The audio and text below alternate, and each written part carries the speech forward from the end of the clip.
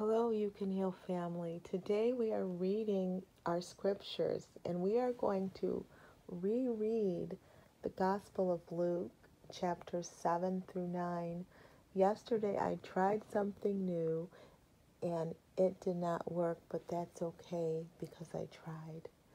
So eventually I would like to read live at 7 a.m. every morning, but there are a few things I need to work out but don't worry, we're going to continue with our reading. And it just reminded me that, you know, if you need to try something, don't be afraid. If it doesn't work, if it fails, you're one step closer to getting where you need to be. So just keep on going, keep on growing, keep believing in yourself, and keep trying new things. You know, if God shows you something, act on it and move on it. So when I um, revisit the lives, we'll make sure that everything is working and in order. But for now, we're going to continue reading in the Gospel of Luke. We are on chapter 7, reading from the Open Bible New Living Translation. And if it was your first time tuning in yesterday, again, I apologize. We're going to do um, this reading again today and then just keep on going. My name is Shena Major. I'm a life coach and I help people heal from unhealthy relationships so they can learn to love themselves. All right, here we go. Luke chapter 7. A Roman officer's servant is healed. When Jesus had finished saying all this, he went back to Capernaum. Now, the highly valued slave of a Roman officer was sick and near death.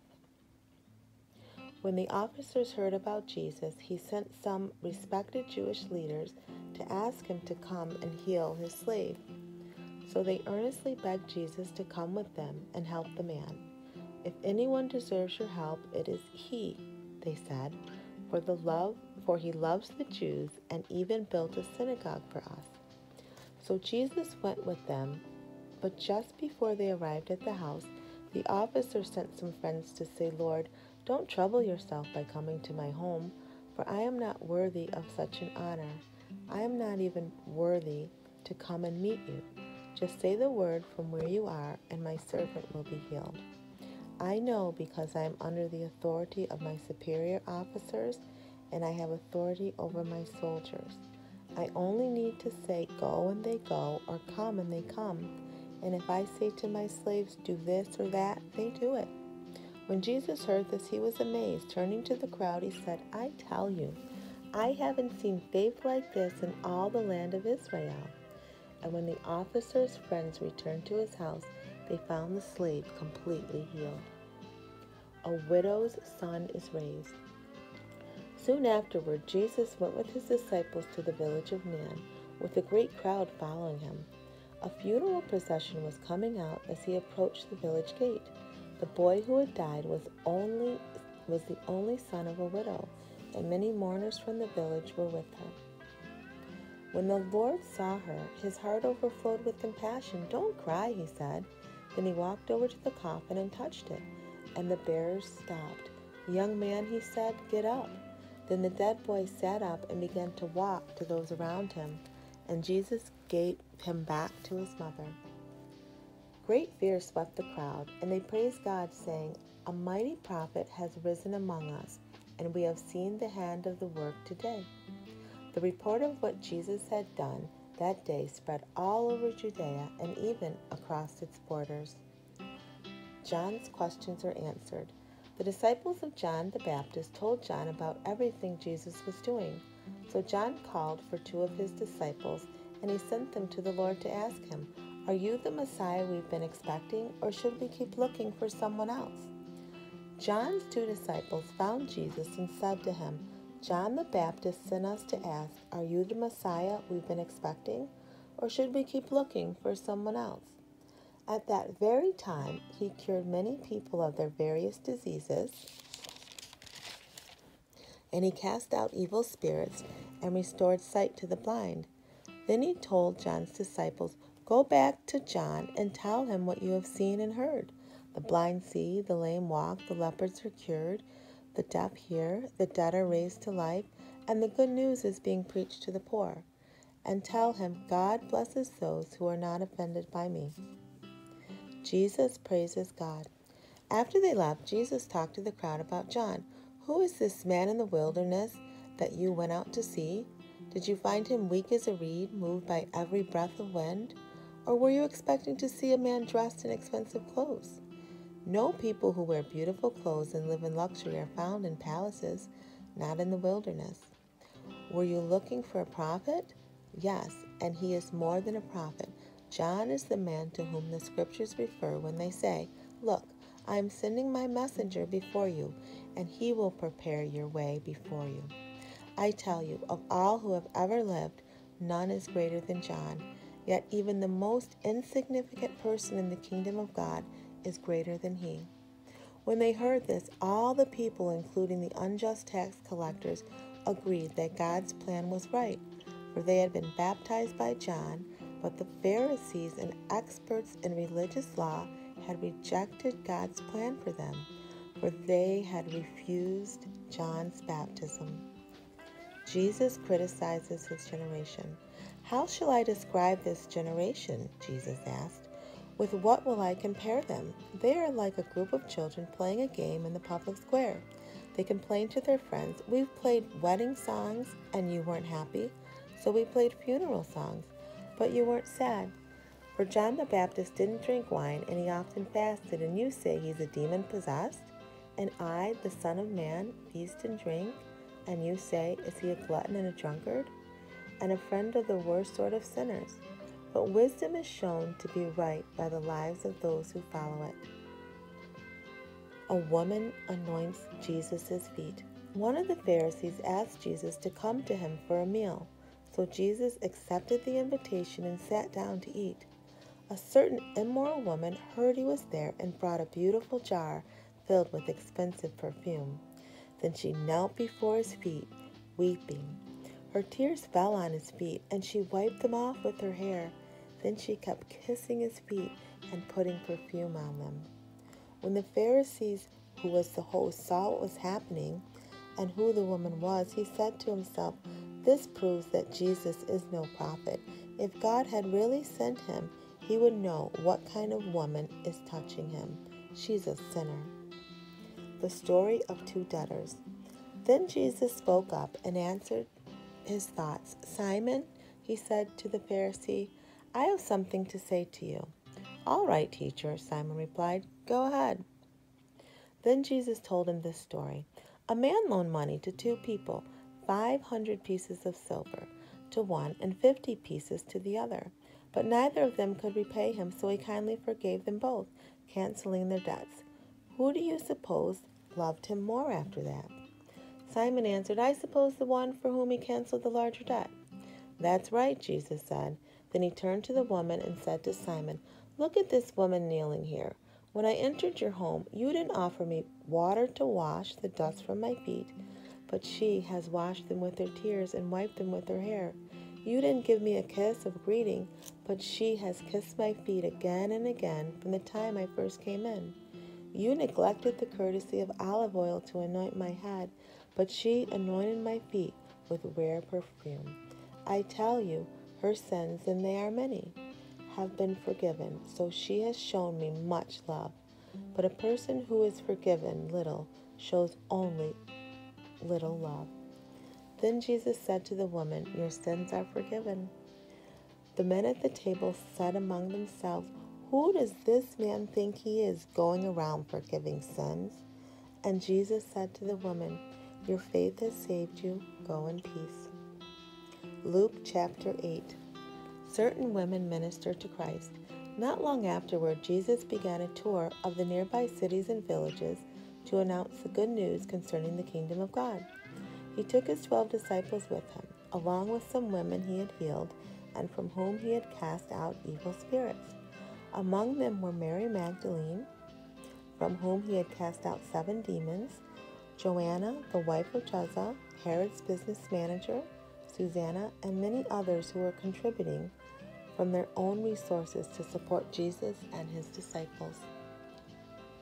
Story of the Soils. One day, Jesus told this story to a large crowd that had gathered from many towns to hear him.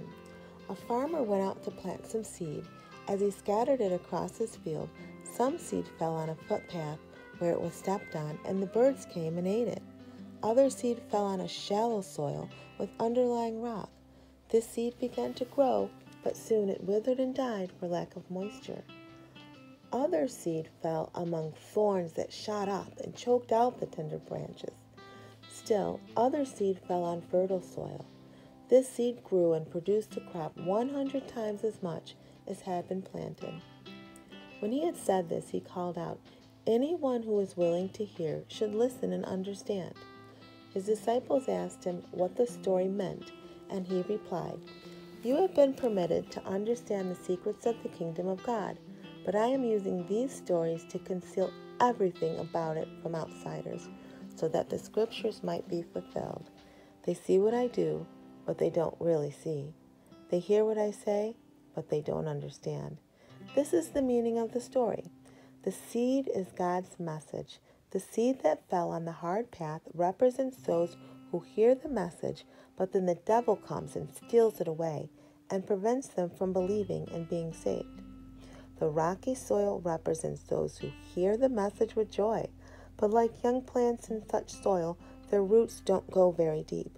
They believe for a while, but they wilt when the hot winds of testing blow. The thorny ground represents those who hear and accept the message.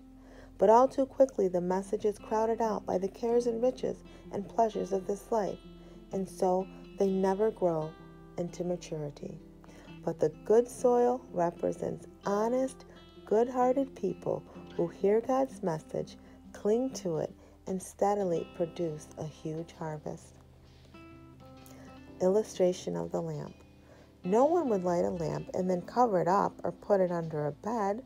No, lamps are mounted in the window where they can be seen by those entering the house.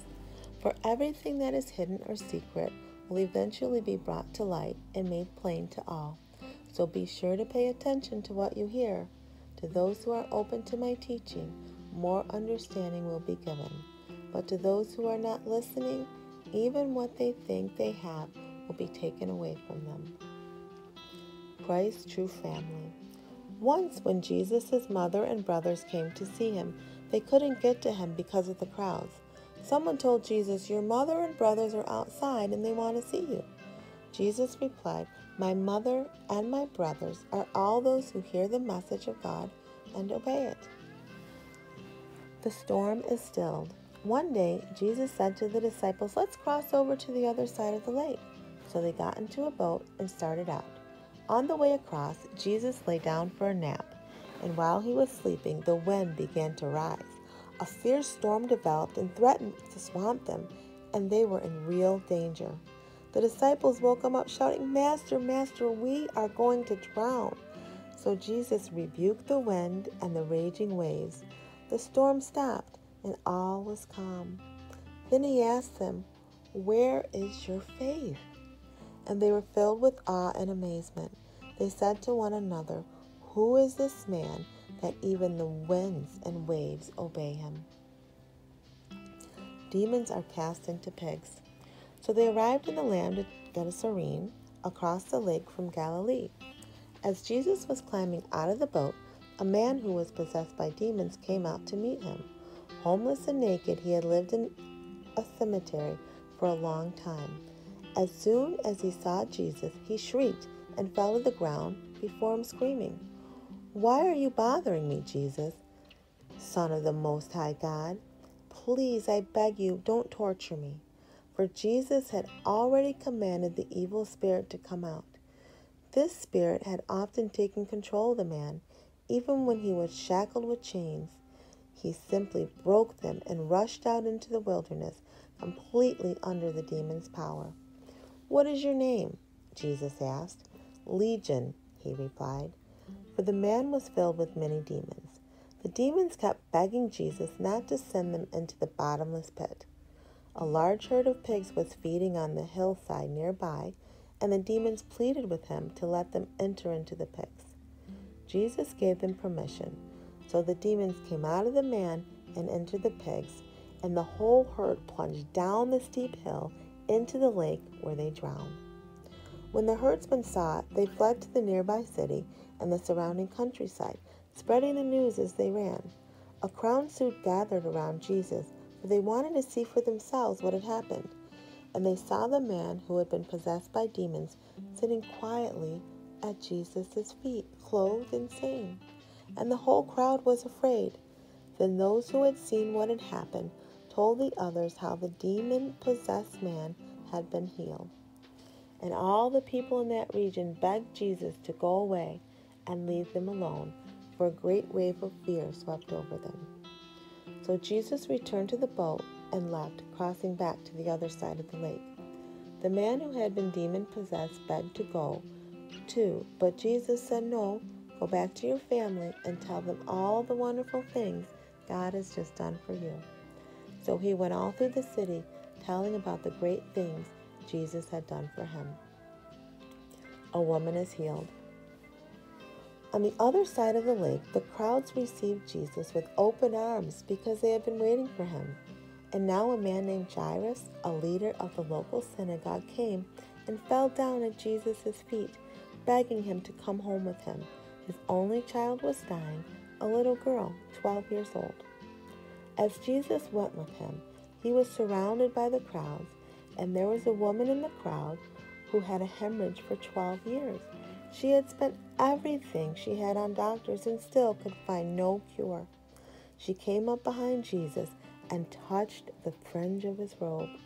Immediately the blood stopped. Who touched me? Jesus asked. Everyone denied it, and Peter said, Master, this whole crowd is pressing against you. But Jesus told him, No, someone deliberately touched me, for I felt healing power go out from me. When the woman realized that Jesus knew, she began to tremble, fell to her knees before him. The whole crowd heard her explain why she had touched him and that she had been immediately healed. Daughter, he said to her, your faith has made you well. Go in peace. Jairus' daughter raised. While he was still speaking to her, a messenger arrived from Jairus' home with the message, Your little girl is dead. There's no use troubling the teacher now. But when Jesus heard this, what had happened, he said to Jairus, Don't be afraid, just trust me, and she will be all right. When they arrived at the house, Jesus wouldn't let anyone go in with him except Peter, James, John, and the little girl's father and mother. The house was filled with people weeping and wailing, but he said, Stop the weeping. She isn't dead, she's only asleep. But the crowd laughed at him because they all knew she had died. Then Jesus took her by the hand and said in a loud voice, Get up, child. And at that moment, her life returned and she immediately stood up. Then Jesus told them to give her something to eat. Her parents were overwhelmed, but Jesus insisted that they not tell anyone what happened. Luke chapter 9 12 are sent to preach. One day, Jesus called together his twelve disciples and gave them power and authority to cast out demons and to heal all diseases. Then he sent them out to tell everyone about the coming of the kingdom of God and to heal the sick. Don't even take along a walking stick, he instructed them, nor a traveler's bag, nor food, nor money, not even an extra coat. When you enter each village, be a guest in only one home. If the people of the village won't receive your message when you enter it, shake off its dust from your feet as you leave. It is a sign that you have abandoned that village to its fate. So they began to circuit of the villages, preaching the good news and healing the sick. When the reports of Jesus' miracles reached Antipas, he was worried and puzzled because some were saying, This is John the Baptist come back to life again. Others were saying, It is Elijah or some other ancient prophet risen from the dead. I beheaded John, Herod said. So who is this man about whom I hear such strange stories? And he tried to see him. 5,000 are fed. When the apostles returned, they told Jesus everything they had done. Then he slipped away with them toward the town of Bethsaida. But the crowds found out where he was going, and they followed him, and he welcomed them, teaching them about the kingdom of God and curing those who were ill. Late in the afternoon, excuse me, the twelve disciples came to him and said, Send the crowds away to the nearby villages and farms, so they can find food and lodging for the night. There's nothing to eat here in this deserted place. But Jesus said, You feed them. Impossible, they protested. We have only five loaves of bread and two fish. Or are you expecting us to go and buy enough food for this whole crowd? For there were about 5,000 men there. Jesus told them to sit down on the ground in groups of about 50 each. Jesus replied, So the people all sat down. Jesus took the five loaves and two fish, looking up toward heaven, and asked God's blessing on the food. Breaking the loaves into pieces, he kept giving the bread and fish to the disciples to give to the people. They all ate as much as they wanted, and they picked up twelve baskets of leftovers. Peter's confession of faith. One day, as Jesus was alone praying, he came over to his disciples and asked them, Who do people say I am? Well, they replied, Some say John the Baptist, some say Elijah, and others say you are one of the other ancient prophets risen from the dead. Then he asked them, Who do you say I am? Peter replied, You are the Messiah sent from God. Jesus warned them not to tell anyone about this. For I, the Son of Man, must suffer many terrible things, he said. I will be rejected by leaders, the leading priests, and the teachers of religious law. I will be killed, but three days later I will be raised from the dead.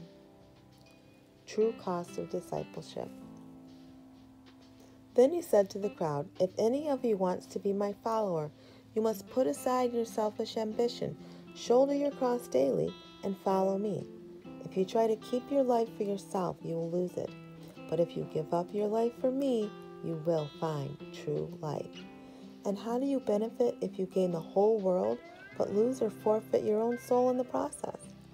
If a person is ashamed of me and my message, I, the Son of Man, will be ashamed of that person when I return in my glory and in the glory of the Father and the holy angels.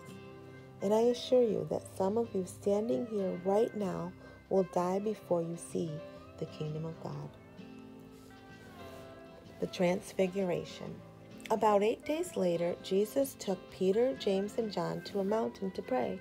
And as they were praying, the appearance of his face changed, and his clothing became dazzling white. Then two men, Moses and Elijah, appeared and began talking with Jesus. They were glorious to see, and they were speaking of how he was about to fulfill God's plan by dying in Jerusalem. Peter and the others were very drowsy and had fallen asleep. Now they woke up and saw Jesus' glory and the two men standing with him.